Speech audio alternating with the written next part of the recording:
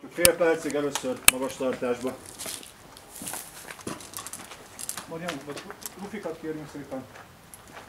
Kocsiban vannak, Oké. a Suzuki-ban vannak.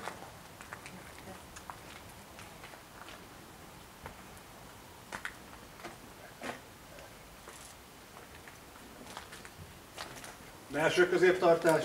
Na, most ez itt nem lesz jó.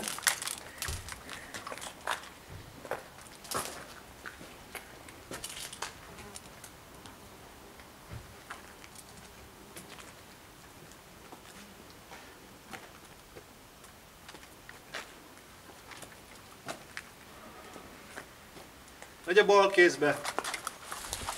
Tenyérrel lefele, tudod, széli tenyérrel felfele.